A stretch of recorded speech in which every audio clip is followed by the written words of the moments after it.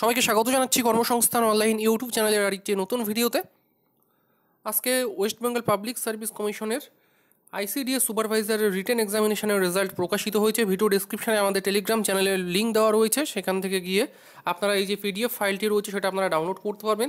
তো অন স্ক্রিনে এখানে দেখতে পাচ্ছেন list of eight thousand one hundred twenty six ক্যান্ডিডেটসের name কিন্তু এখানে এই লিস্টে রয়েছে। আপনারা কারা কারা সিলেক্টেড হলেন ইন্টারভিউর জন্য ডাক পেলেন, অবশ্যই কমেন্ট বক্সে কমেন্ট করে জানাবেন।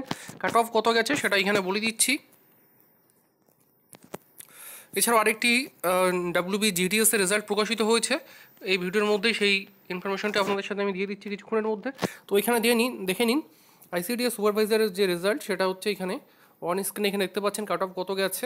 আপনাদের যে রিটেন এক্সামিনেশন হয়েছিল তার এখানে কাট অফ আনরিজার্ভ ক্যাটাগরির জন্য দুশো একুশ, ওবিসির জন্য গেছে একশো নিরানব্বই, ওবিসি বির জন্য দুশো একুশ, এসসির জন্য দুশো, এসটির জন্য একশো তিপ্পান্ন কিন্তু এই কাট অফ গেছে আপনাদের রিটার্ন এক্সামিনেশনে যারা যারা ইন্টারভিউয়ে ডাক পেলেন, আপনাদের প্রত্যেকে কনগ্রাচুলেশনস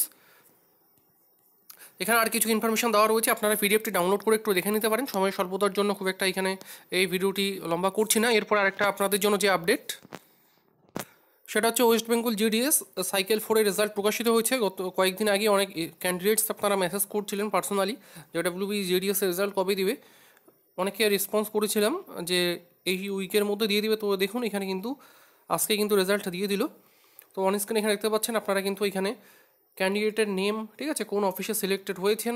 কত পার্সেন্ট আপনার মার্কস আপনার রয়েছে, আপনি যেটা দিয়ে অ্যাপ্লাই করেছিলেন, কোন ক্যাটাগরিতে হয়েছে, ঠিক আছে? সমস্ত কিছু কিন্তু আপনি পেয়ে যাবেন। আপনার যে ডকুমেন্টস ভেরিফিকেশন সেটা কিন্তু কমপ্লিট করতে হবে।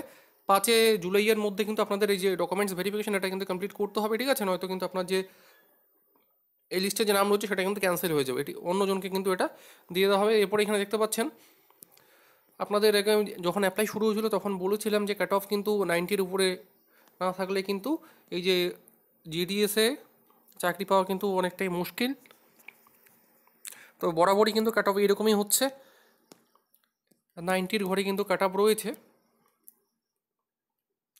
তো সমস্ত নাম আপনারা এখানে পেয়ে যাবেন। যারা যারা অ্যাপ্লাই করেছিলেন, অবশ্যই আপনারা একটু চেক করে নিন যে আপনার নাম এখানে রয়েছে কি না